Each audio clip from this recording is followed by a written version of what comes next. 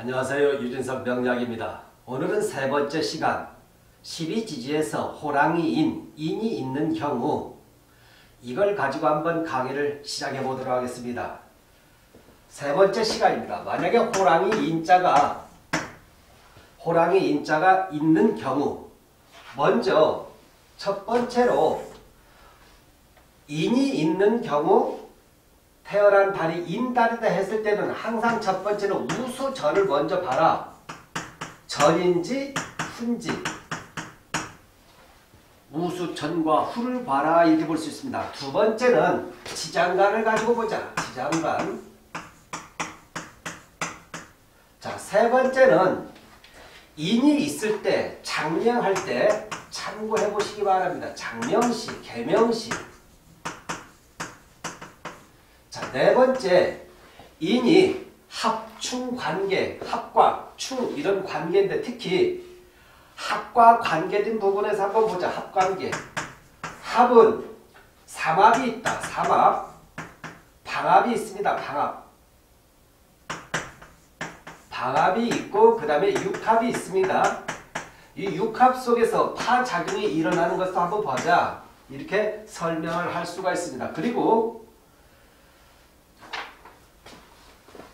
인이 겹쳐 들어올 때 가장 중요한 인을 가지고 태어났는데 인이 병립되거나 함께 나란히 있거나 대원에서 인이 들어올 때 이 부분을 가지고 한번 이야기해 보도록 하겠습니다.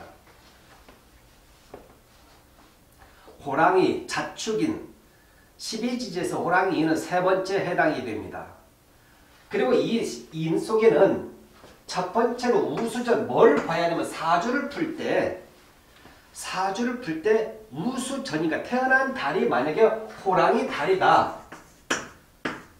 인월에 태어났을 때 얘가 바로 이 관계를 반드시 봐줘야 합니다. 그래야 사주를 정확하게 간명할 수가 있습니다. 우수전이라는 것은 얘는 입춘을 상징해 주는데 입춘 내일이면 이제 2월 4일, 아니 2월 4일부터 보통 2월 4일에서 3월 4, 5일 사이를 인월가 그러는데 입춘이 딱 시작이 되고 2월 4일, 예를 들면 2월 4일이 시작이 됐다 그러면 15일 후가 15일이 지금 그 날이 우수입니다. 우수. 우수의 그 전이냐 후냐에 따라서 굉장히 해석이 다르다. 왜 그러냐? 우수전은 거의 한겨울 같은 시기입니다. 이때는 이 인 자체가 인이 아직은 어리고 열이다 이렇게 볼 수 있어요. 어린 싹에 비유할 수 있다.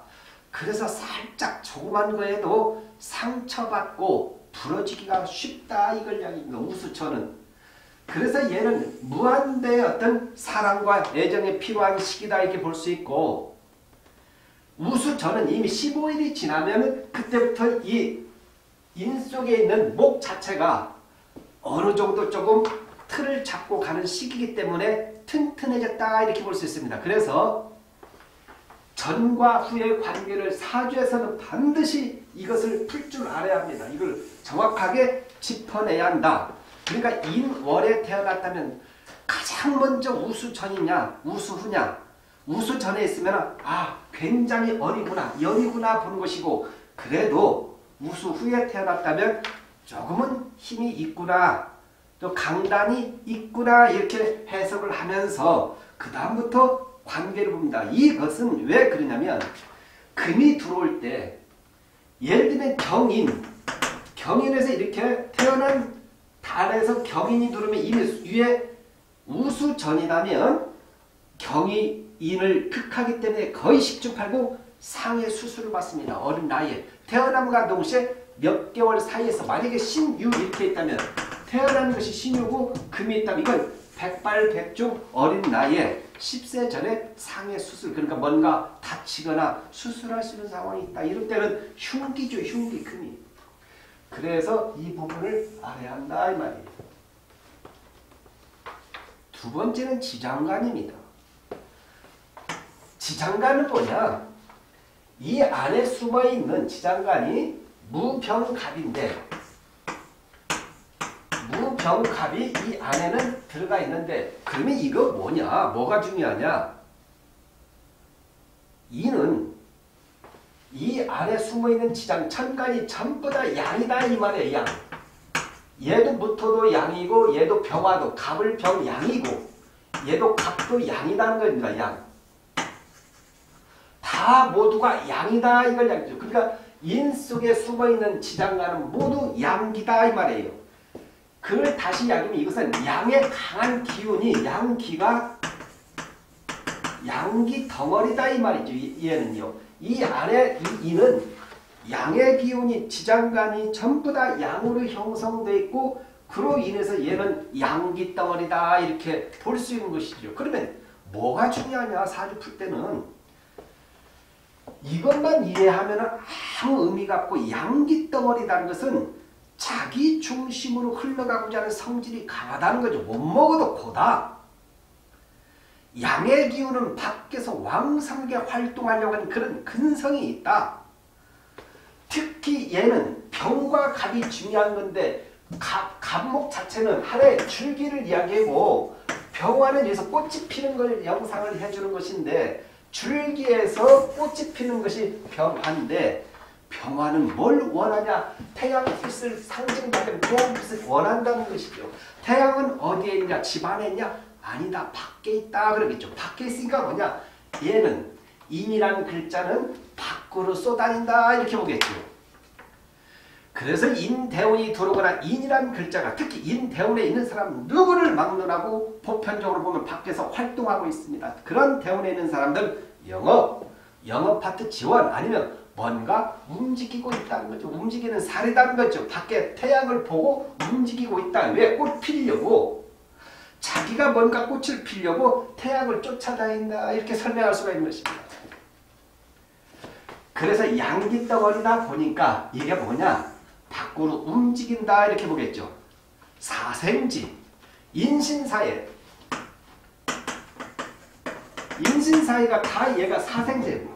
봄의 시작을 알려주는 것이고 여름을 알려주는 것이고 가을의 시작이고 겨울의 시작이고 시작이라는 거죠. 생이라는 거죠. 생. 날생자. 봄에 새롭게 솟구친다. 양기덩어리니까 뭐냐? 솟구치고 강한 힘을 그런 솟구치고자 하는 그런 힘이 굉장히 강하다. 치고 나가고자 하는 힘이 강하다 이렇게 해석할 수가 있죠. 그래서 만약에 인이란 글자가 있는데 다시 인대운이 들어올 때 어떤 현상이 일어나느냐 이걸 보자는 것이죠. 이렇게 강한 놈끼리 부딪혔는데 서로가 병립됐는데 똑같은 글자가 쌍둥이처럼 나타나서 대운에서 들어왔을 때 어떻게 해석을 해야 하느냐 이런 게. 그래서 강한 기운끼리 있기 때문에. 잠시 후에 이야기하겠습니다. 그래서 장명할 때 개명할 때 뭐냐? 우수 전에 만약에 우수 전에 이런 경우 쇠금변을 가지고 만약에 호경 호자를 쓰거나 만약에 여기 진압할 진자를 쓰거나 쇠금변이 들어갔을 때 우수 전이라면 거의 그것은 평생 소갈이 가슴앓이 여러 가지 우여곡절을 겪어야하기 때문에 절대 이렇게 이름을 쓸수는 안 됩니다. 쇠금변을 집어넣을 수가 없다 이걸 이야기해 주겠죠. 우수자이다면 구수록자도 집어넣어서는 안 됩니다. 이렇게 구수록변이 있는 현자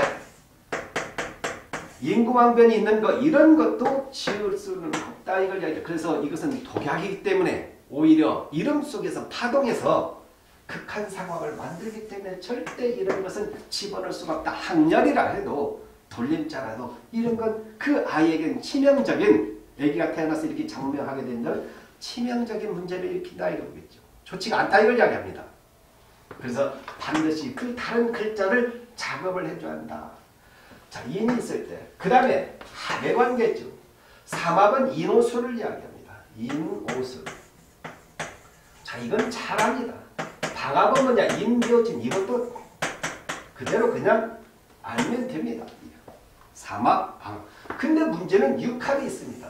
인과 해는 여기서 하나를 얘가 예를 들면 호랑이 인자하고 인해 합을 합니다. 이 부분은 여러분들이 잘 알아야 합니다. 인해 합.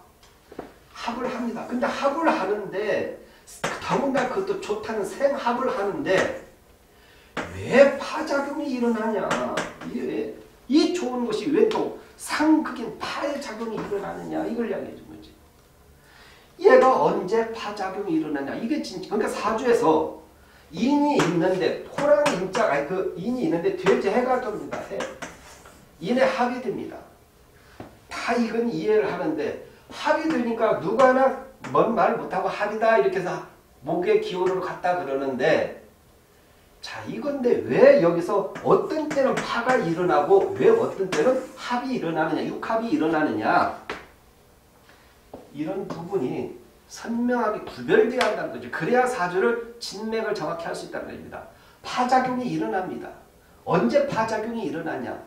태어난 달에 있을 때는 거의 대부분이 합작용이 일어납니다. 육합작용이 일어나지만 태어난 시에 있거나 태어난 월 그 날짜에 있거나 태어난 연에 호랑이 있을 때는 이 돼지해가 들어와서 파작용이 일어납니다. 그것은 사주 전체 원국에서 선명하게 찾아낼 수가 있어요. 반드시 파작용은 사주 원국에서 일어나 그 구성되어 있기 때문에 그걸 보고 아 이때는 합이 아니라 파작용이 일어나는구나 이걸 이야기해 주겠죠.